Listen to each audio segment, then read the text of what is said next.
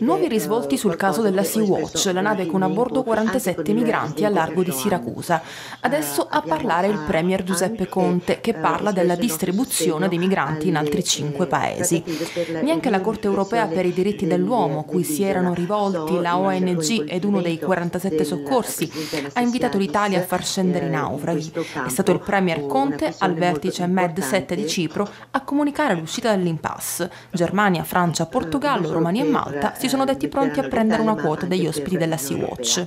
La prefettura intanto ha disposto proprio l'invio di un bagno chimico. Per i minori non accompagnati ha sollecitato il governo a garantire anche una tutela legale adeguata, ma non ha accolto la richiesta di ordinare all'Italia lo sbarco di migranti. E al centro delle nostre riflessioni c'è stata la posizione eh, sulla migrazione, eh, una posizione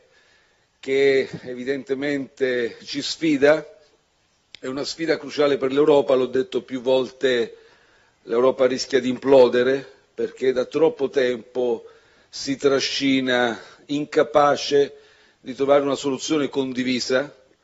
una soluzione che sia in linea con i valori che predichiamo un approccio europeo incentrato sulla solidarietà, sulla responsabilità condivisa è stato di recente eh, acclarato, affermato nelle conclusioni dello scorso giugno del Consiglio europeo. Ritengo quel, quelle conclusioni una svolta perché per la prima volta di fronte a situazioni di emergenza e a un problema che evidentemente è difficile da risolvere abbiamo affermato i principi di una responsabilità condivisa, abbiamo affermato il criterio per cui chi sbarca in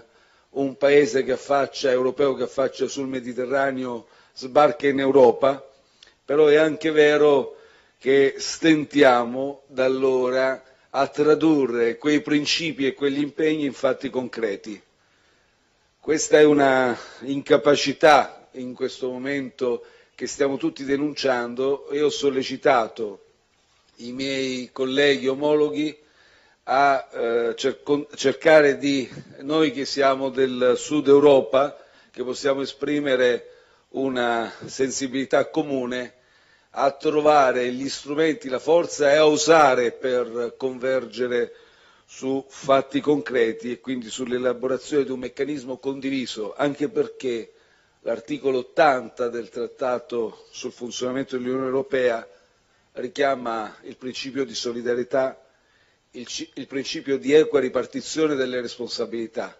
Se poi questi principi non li riusciamo a tradurre in azioni concrete, diventano mere declamazioni e non ci dobbiamo sorprendere se gli stessi popoli europei, i nostri cittadini, si disaffezionano rispetto alle istituzioni europee.